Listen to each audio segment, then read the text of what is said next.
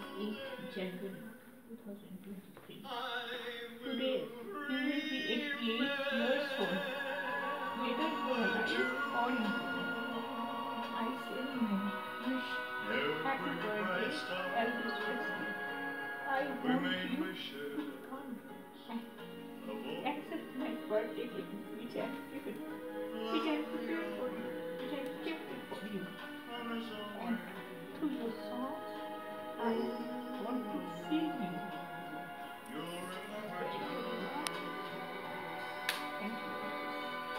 problem.